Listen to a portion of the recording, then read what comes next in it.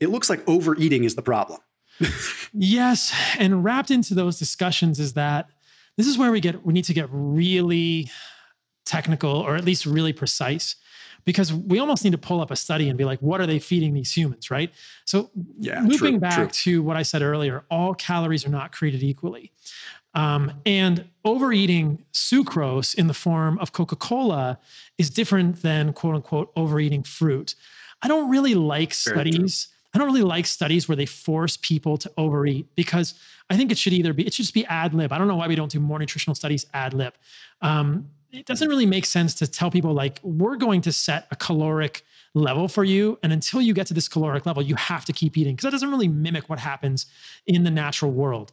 Uh, if you give somebody an ad lib uh, freedom, then if they're hungry, they're going to eat. But if they're full, they're going to stop. The body has these clear signals to stop. So I like that you keep coming back to this overeating. And I want to reiterate what I said earlier that I think that um, the reason most people overeat is because disordered brain signaling related to seed oils primarily, but also probably processed sugar. So I, I, this is probably a good time to bring up this point as well. When I was writing my book, The Carnivore Code, I had only seen literature that showed that fructose was bad for humans. And then I had to broaden my horizon a little bit later. And it was really interesting to see that.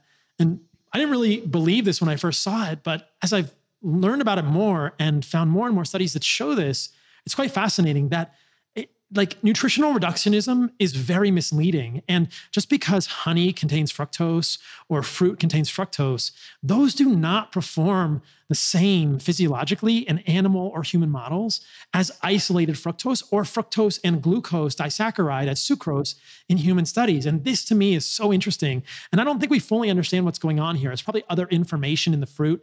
People like Robert Lustig think it's fiber. I don't think it's fiber because I know that when you eat honey, it doesn't make you insulin resistant if that honey actually is real honey, quote unquote, and not just a sugar solution uh, like a sham honey, which has a very different effect on humans. So you don't need to have fiber in the food, though fruit has fiber.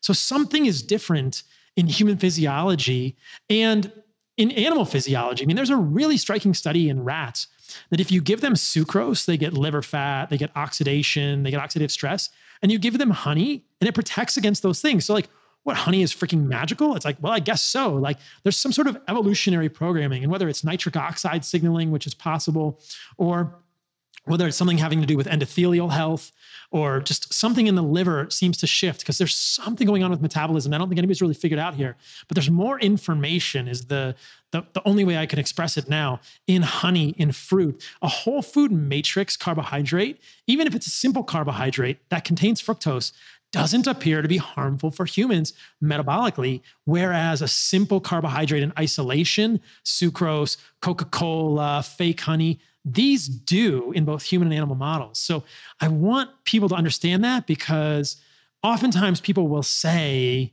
um, honey is the same as Coca Cola. And that's just not the case. It's just, that's been disproven like multiple times. Um, though I think people have done experiments where they look again uh, slightly myopically at their postprandial blood glucose response and say, hey, if I drink 25 grams of carbohydrates from Coca Cola, I get the same 25 gram response as I do from honey, which would be like a tablespoon and a half of honey. But what's happening metabolically is not always reflected in that postprandial glucose response.